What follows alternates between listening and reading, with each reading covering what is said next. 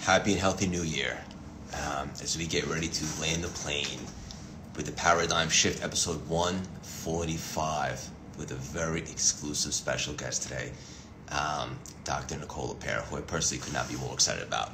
But first, we're going to bring on Big Dave, as usual, my partner crime. Let's get this party started. Happy New Year, guys. Let me know a big goal, big scary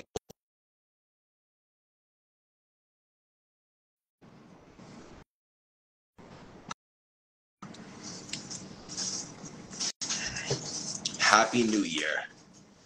There he is. Hey, what's going on? Hey, gonna I'm gonna wipe my. Go Where are you? in Cabo. Still? Of course you are. Still, I am. I am. I am. I'm playing golf with my son and friends and family all around me. It's been an incredible end of the year. Yes, it has. And we had a great call this week, and I got to say, Cabo looks good on you, Dave. It does, man. You can do everything. You know, I vacation every day, but uh, when in a harmonious fashion, I wait uh, more of the vacation time, time and activity that I don't get paid for. Uh, I value it and enjoy it immensely, and that's the the last week of the year for me. Yeah.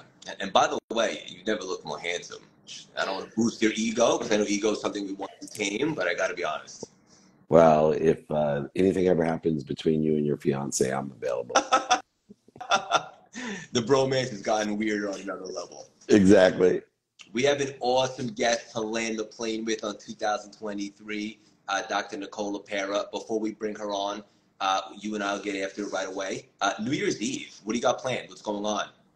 Well, you know, I try to live my life on East Coast time, so I celebrate New Year's Eve in New York fashion. Uh, so I like to uh, go to a fancy dinner with uh, my wife and other couples, and then we have a neighborhood, uh, a very wealthy neighbor who has brought in Ludacris and Nelly, and uh, the rumor has it is we're going to be hanging out with Warren G and Snoop uh, at his house, performing there, and I'll celebrate the nine o'clock ball drop and uh, do a uh, Irish exit uh, without saying goodbye around 10 o'clock, uh, maybe extend till 10 o'clock my normal and winding routine. But uh, we have like to stay at home. So I'm, I'm flying home today from Cabo. I'm going to play some golf and with my son. And it's going to be an amazing daily practice. Let's just put it that way. Yeah, you're very unique in the way that you look at things. One of the many things I love about you.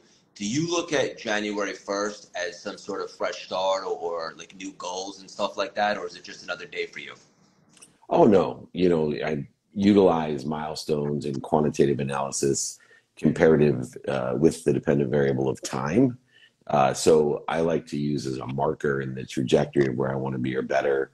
Where was I January 1st of, of last year, personally, experientially, giving and receiving wise? And within the context of time, uh, seeing exactly how the acceleration, aggregation, and compounding uh, exponentially of, of things that I'm not capable of understanding, which is how my behaviors are contributing to uh, the outcomes, results, and consequences that I want in my life for better. And so, although I don't attach my emotions to next New Year's Eve saying, oh, you know, I want to make over a billion dollars this year or other things uh, that are arbitrary and capricious or lack the understanding of the infinite uh, physics of time or applied mathematics that we exist in. For me, it's just speed and velocity and momentum. So I'll look and see uh, backwards quantitatively hey, where was the acceleration, the aggregation, and the compounding of the results and uh, consequences in my life? And how can I improve my behaviors next year so that I can double the amount of money make as fast as I can? I can double the experiences I'm having as fast as I can. I can double the lessons that I'm learning. I can double the size, scope, and scale of my community. So it's just a different perspective. I'm an odd bird when it comes to that, but I will tell you, uh, in your proof uh, in that as well, that the people that takes take pieces and parts of what I teach and utilize it uh, within the context of their own value system uh, are extremely passionate, purposeful, and profitable in their lives. Beautifully said. And I'll say this, you know, a lot, and then we'll bring on Dr. Nicole. I don't want to waste any more time. Um, you know, a lot of people measure year's end by like business and stuff, and our business continues to grow, and I'm very grateful for that. But 2023 for me personally, Dave, was the most growth I ever had spiritually with the Course in Miracles, Kabbalah, under being more available for some of the stuff that you teach me, and uh, that's transformative stuff right there. I'm so proud of that. Yeah, well, you're reaching that age of a quantum shift, and I encourage everyone. Women reach it a little bit earlier than men, but as we uh, go through the quantum shift, uh, spirituality, uh, inspiration, uh, awareness become more critical in our existence and our journey. There she is, the highlight of our year. The, hello, hello.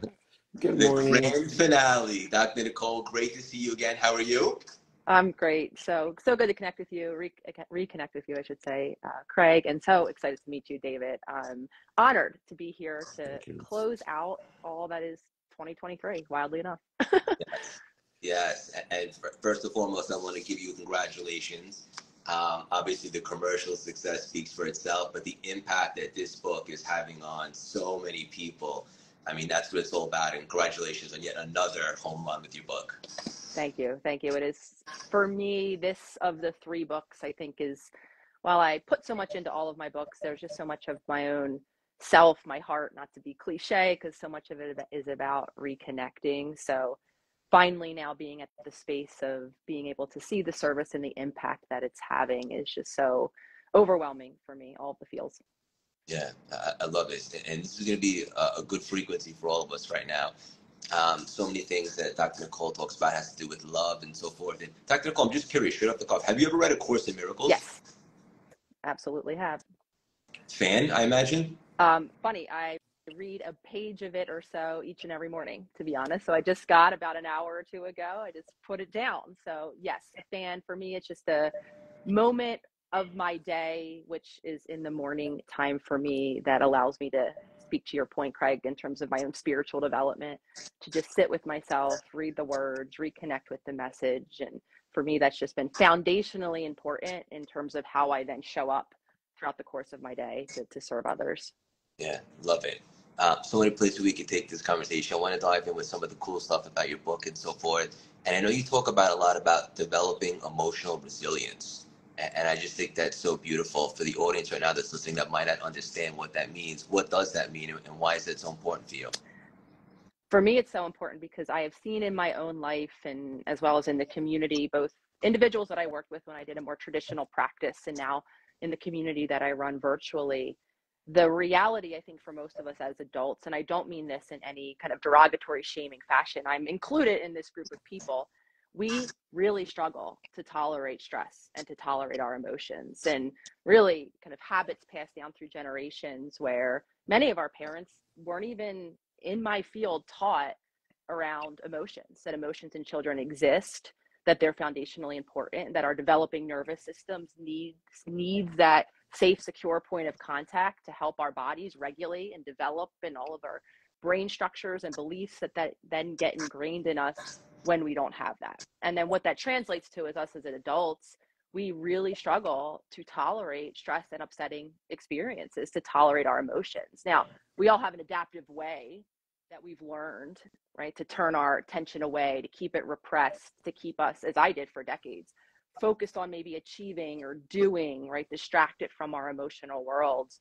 Though the reality of it is our emotions still exist. So, really simply, emotional resilience is our ability to be present to our emotions, to truly understand that they are energies, physiolo- physiologies, hormones, neurotransmitters, neuropeptides that live in our body. And this is, I think, where for me it was a groundbreaking shift to understand, even as a clinical psychologist, we can't logic or reason our emotions or ourselves into an emotionally resilient individual. We really have to include our body and our body's ability to tolerate stress and dysregulating upset that many of us are living with constantly. I just got a dopamine hit. I mean, I'm just so happy to be here. Dave, what are you smiling at?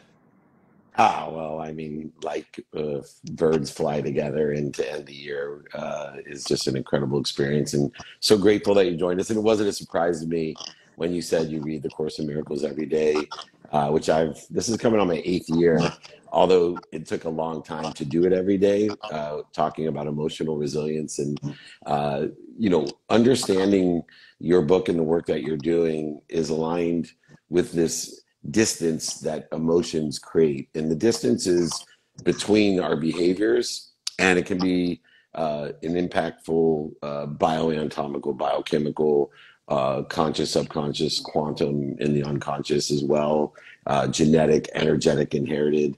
But this distance is real simple to me when we're talking about the interfering emotions. And you uh, have explained with love and in the Course of Miracles, Craig, I know you're just starting on the journey.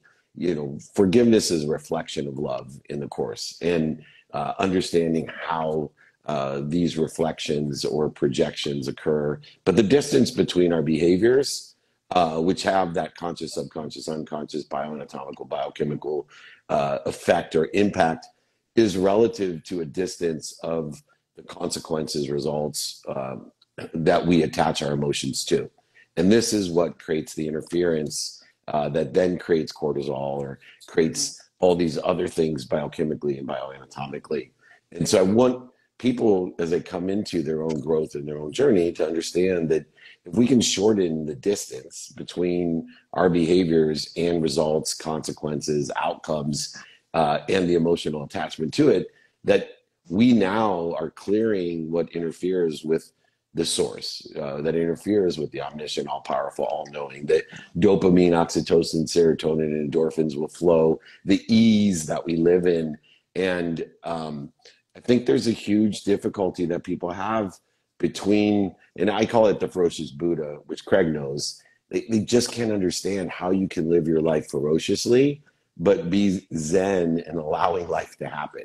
And it lies within the context of that distance, that emotion that we put into the outcome, the consequences, and results instead of the behaviors by identifying what we're doing to interfere with the omniscient, all powerful, or the infinite, abundant, unified system of love or truth uh, that everyone's in. And so, wherever you are in your journey, I just encourage you to chase or to uh, pursue understanding. And this, your third book is an extraordinary example or illustration so that people can resonate with a different paradigm shift, no pun intended, Craig, but a different perspective on living at ease and, and being happy. And I just am so grateful for the work that you've done because everyone speaks differently and uh, different frequencies, and it just resonates with so many people. The work that you're doing, and I love when I read a book and say, yes, she's writing a book in a different language. Uh, yeah, it's in English and probably many other languages as well,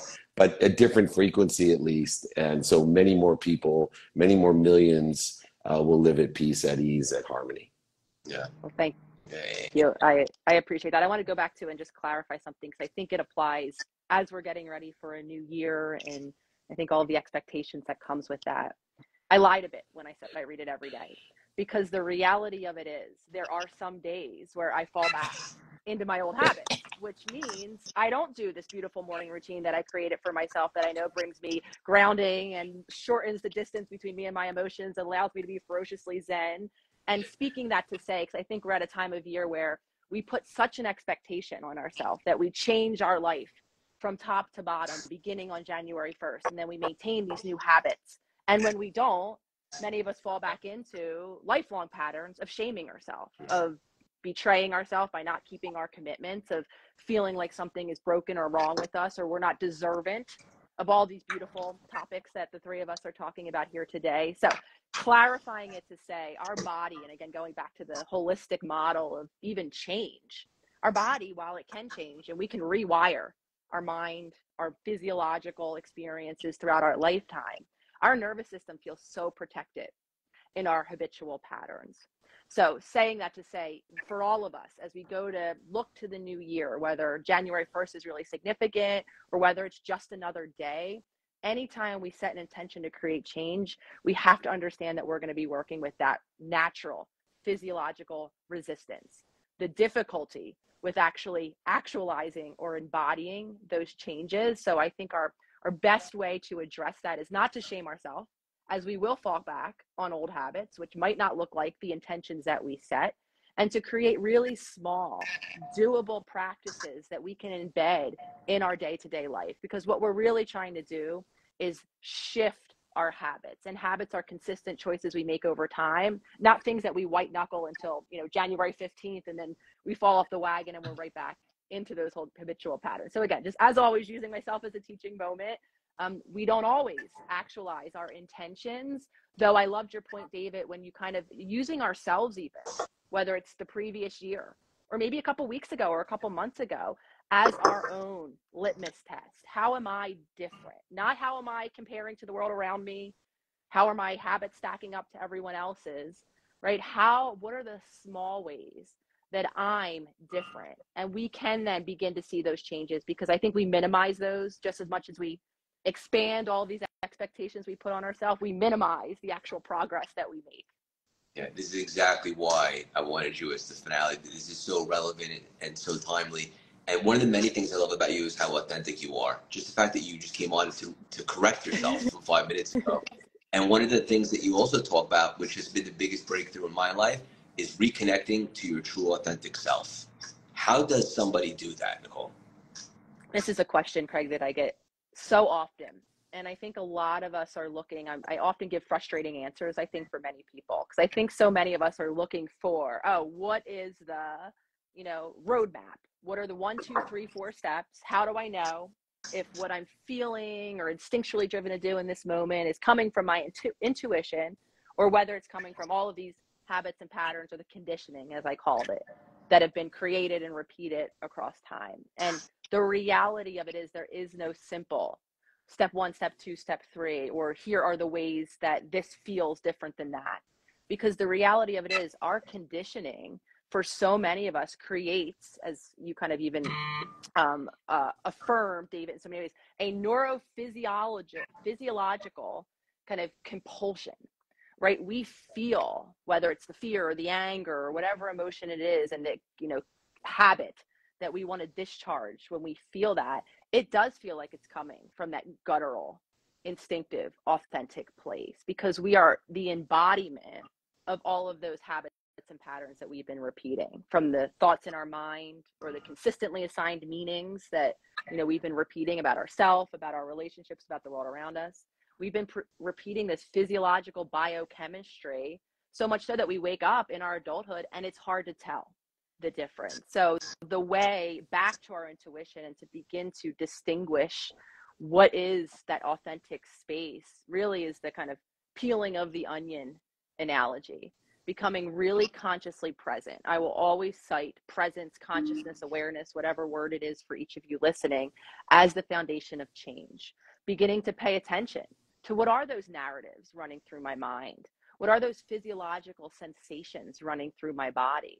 What are then the habitual behaviors that I've learned to try and cope with that internal world? And the more conscious I become of what I would call then my conditioning, those repetitions, those neural pathways that we've been kind of over time just relying on as a habit, now I can start to reconnect with what I believe is the true source of my intuition, my deeper body, right? My deeper self, learning how to even be still and present with my physiology and create safety where I'm not feeling like I need to distract my attention away or I'm not overwhelmed by the energies that so many of us have stuck in our bodies, then I can start to rely a little more on my body as the intuitive sensor that it is for us and the world around us. What a dynamic powerhouse, huh, Dave?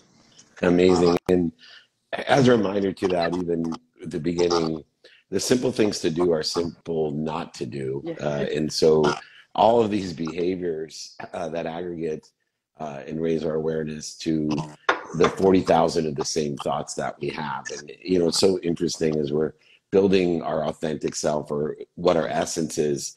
For me, I'm more pragmatic about helping people uh, to get a subjective opinion with objective criteria. What I mean by that is if you take inventory of your own skills, which is part and parcel of your fingerprint that you are on this earth, your own knowledge, and the knowledge of not only what you know, but who you know, which has become more important today than ever because of the size, scope, and scale of the addressable community uh, that we have at your frequency or the addressable neighborhood that you can communicate with. And then, of course, on the intuitive and emotional level, your desires. And so, uh, if you take inventory each day of here's the skills, the knowledge, and the desire, we can get a greater clarity of who we are, what our essence is, and we can be consistent with that frequency, which then creates a clearer message, a stronger uh, signal, and a wider reach uh, to this total addressable community to be able to communicate with and empower uh, to and through. And so I think it's really important. Um, this word authenticity, especially in branding and marketing, uh, really gets confusing, especially to young people. They're they're looking for some unique. I'm always honest. Well, anyone that tells you they're always honest, they always tell the truth, is full of shit. Uh, they don't study history. They don't stel- study human nature. Um, unfortunately, as human beings, we lie intentionally for good purposes. We lie unintentionally uh, for a variety of reasons. Um, and we also lie intentionally sometimes out of scarcity or fear. And so if we take inventory of ourselves and we live within the context of progress, not perfection, I think the frequency of who you are will come out and you'll realize what other people think is none of your business. Who I am is most important, and what I'm doing to interfere with who I am is even more important than that. And that would create a greater understanding of your essence, your authenticity. Yeah, beautifully said. Um, we'll land the plane with, with a final nugget. Uh, this is always a good topic. That's our signal for landing the plane. Craig's been doing it for like 145 episodes. I'm still trying to figure out how that's landing the plane, but I like it. I'm a strange cat. I'm trying to be my most authentic self. You're an um, eagle. You're not a cat. You're an eagle. Nicole, you talk about doing the ego work. And I know we touched about that a little bit during this conversation so far, but the ego is something that's always there. Uh, what kind of ego work do you do and, and how do we tame it? So our yeah, our ego, I think that's and I'm I'm glad to some extent to see how much ingrained in our global conversation ego has become. So I think with that, I think a lot of us maybe have the misinterpretation that the idea is that it shouldn't be there. It's bad if it's there. The goal is to get it to go away. And the reality of it is the ego is, is a function of really simply what I call our thinking mind. The fact that our brain, our mind, the function of our brain is always trying to make sense of the world, to gain a sense of control, a sense of predictability. And we, as an individual, are one of our points of focus. We're trying to make sense of who we are. And that begins in childhood. And so, really simply, the ego is can be met on the daily for most of us as that little voice inside of our head that's narrating usually all these deep rooted beliefs that we've ingrained within us about who we think we are based on how we were meant to be, how we were meant to feel, the things we were made to or directly or indirectly express or not express in childhood. So the ego in a sense then becomes a identity of the self that plays a very protective role right? Because on a deep level, those modifications, those ways that we had to shift or change ourselves, suppressing certain feelings if we got told we were being dramatic or being too much or too little of something, suppressing certain aspects of our own self expression. In childhood, when we're dependent, we need it to construct that version of an identity to maintain these connections that we desperately need over time. And the reality of is we don't shift in terms of we always need to be belong, to be a part of a system that's greater than an individual. So in a way, this constructed identity is our lifeline, or so we think, into certainty of knowing who we are, and then a certainty of knowing how it is that we can maintain the connections that we need not only for our physical survival, but for our emotional survival. So again, I go into the the explanation of at least the way I formulate and think about what the ego is because if we do have the idea that the goal is to remove it, to not have that voice in my mind, we're going to set up an expectation that's just not attainable because again, there's a protective stance that neurology, those neural pathways we fired for so long, so frequently, we come to believe it's true about ourselves. They're not going to go away immediately when we start to pay attention. But what will happen is we'll create a bit of space. So again, it's that same shift of focus. Well, what's going on in my mind? How am I narrating myself? What do I think of myself? What am I assigning meanings when people are doing or not doing something in relationship with me? What do I assume it means about me and who I am.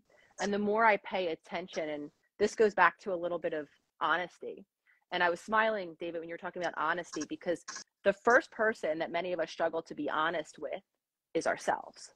Before we're directly or indirectly lying to the people around us, and this applies, I think, to the ego work conversation, we're not able to be fully honest with what it is that we think about ourselves, what, what it is that we come to believe about ourselves, with all of the deep rooted pain that those thoughts and beliefs really were born out of. So, by paying attention and being really honest, and for me, this is on the daily, dropping in, noticing what I think about myself, the way I'm narrating my happenings or non happenings in the world around me, and then giving myself, because I've practiced that conscious state, the ability to see those thoughts without reacting to them, even the ability to drop in and notice the physiological shifts and changes. When I'm believing I'm not worthy, my body's becoming constricted. I might even become collapsed, right? Trying to kind of remove myself from focus. And when I notice both of those shifts in my internal world, including my body, now I can start to create a bit of space to not only question, because I think a lot of times that's what we hear in terms of ego work, well, question the validity of my thoughts. I can include my body in that conversation. I can shift and change the way I'm physiologically feeling releasing the tension and constriction that comes with fear or unworthiness or unlovability so that now I can begin to show up in the embodiment of a new belief, even before those ego voices or thoughts or beliefs fully go away. Because again, I think that's an expectation we have. Oh, I have an ego, I'm paying attention to it, away it'll go. Those thoughts won't come, I won't assign those narratives anymore, and or I'll begin to feel differently immediately. And that's just not the case we have to rewire our mind and our body and that's how we do it through that conscious awareness of what's happening in our mind and our body and then the intentional choice to shift focus from narratives that aren't helpful and to regulate our body or shift our physiology in a way that is. Dave, before I hand it to you, I just want to say uh, that's why a little more unenlightened version of me would say squash the ego, but that's why I use the word tame because I know it does serve a purpose. And I just want to acknowledge you obviously you're brilliant, but you make such complex um, concepts so easy to digest and consume. And I personally learned a lot already in this conversation. Dave, I know you want to say something. Oh no, I mean I think uh, along the lines of the ego, it's the prescription that human nature gives to fear, uh, and it fills a void uh, which I'm most concerned of with our children and as a father of four between I am and this is what I want people to think I am. And so these needs of the ego have changed over the years, evolved. It's not just being chased by a saber-toothed tiger anymore. Uh, it's a need to be right and a need to be offended, a need to be separate, inferior, superior, anxious, frustrated, angry, guilty, uh, all of these resentful, all of these needs of the ego. And I think if you start practicing, and you know, I loved at the New Year I always give away uh, the five daily practices that help people. Uh, feel free to email me. I always throw in my book as well. I'm not a, a, great author. I've written eight books. So I just decided to give them all away. It's a lot easier that way. Then you can feel popular. Uh, but uh, david at dmeltzer.com. Just email me. I'll give you these practices that help you, one, identify ego, know that your mind, body, soul are on fire uh, when you have a need of the ego. But instead of resisting it, going over it, under it, through it, around it, denying it, lying to it, cheating it, simply just stop, breathe, drop down to center into that unbelievable, infinite, abundant, unified system of thought that we all belong to, and then roll back into the right trajectory. I see so many people uh, trying to give themselves, like Craig suggested, an egoectomy, right? Squash the, you can't, it's human nature. Uh, it's human nature to prescribe ego to when you're afraid.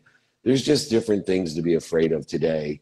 And the biggest void in which it creates is between I am and I'm afraid I'm not what people think I am. And so therefore, I widen the gap between I am and this is what I want people to think I am.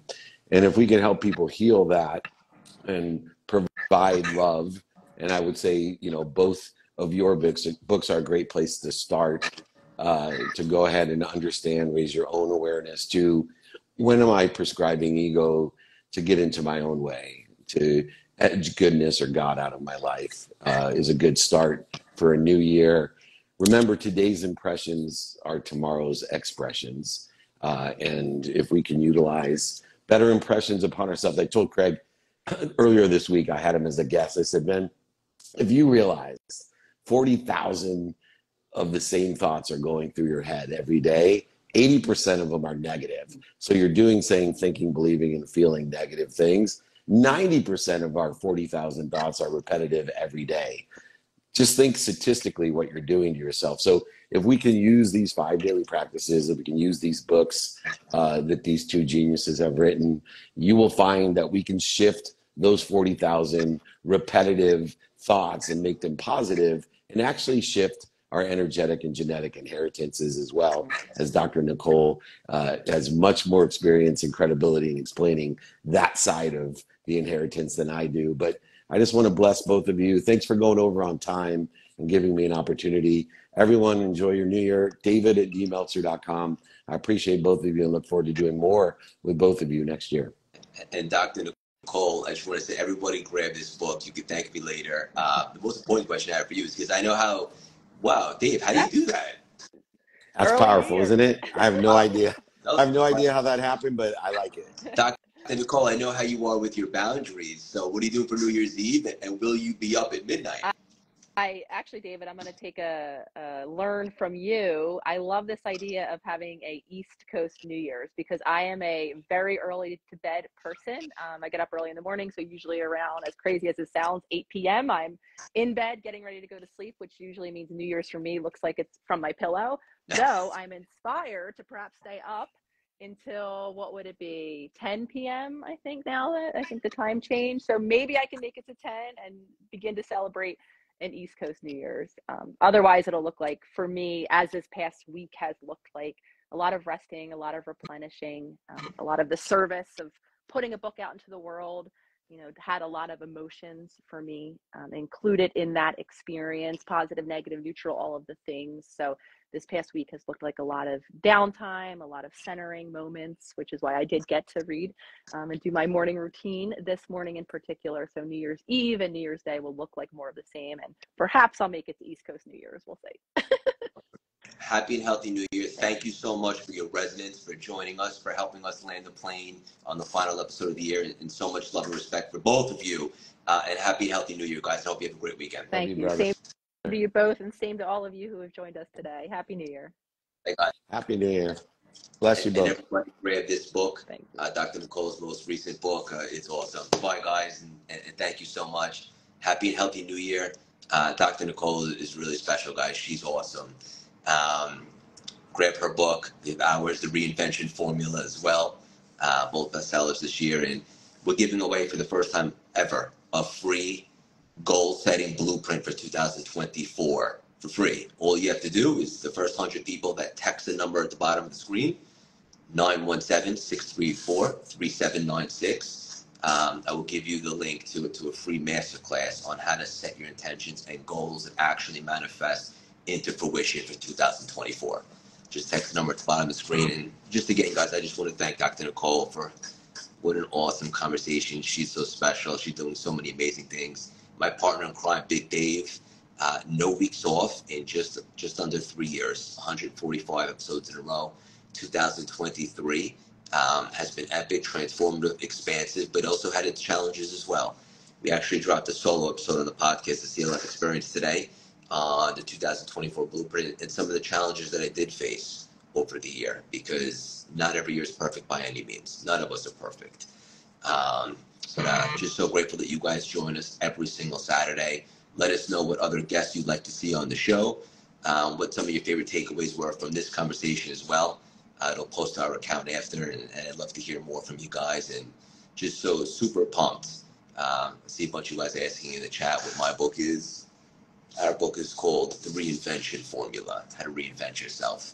And then uh, Dr. Nicole's book is, and also buy Dave's book as well, Connected to Goodness. Um, and lastly, you guys, you can text the number at the bottom of the screen again, 917-634-3796, and we'll send you a link to a free goal setting manifesting blueprint. Uh, the first 100 people. I love you guys. Thank you for your resonance. Thank you for being here. Um, I hope you guys have a healthy, safe, prosperous, abundant, uh, peaceful, um, and fulfilling uh, New Year's. and let's get ready for the biggest year ever. Uh, love you guys.